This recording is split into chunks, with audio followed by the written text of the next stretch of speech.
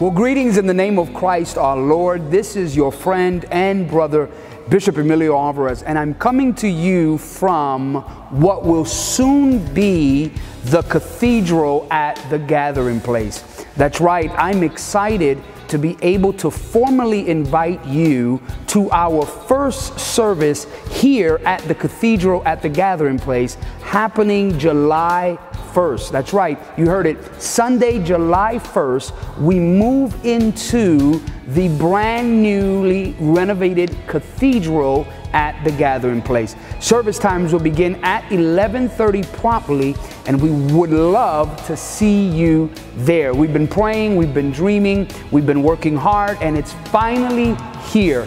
Once again, July 1st, Sunday, 11:30 a.m. will be our first service at the cathedral at the gathering place where love meets. You do not want to miss it.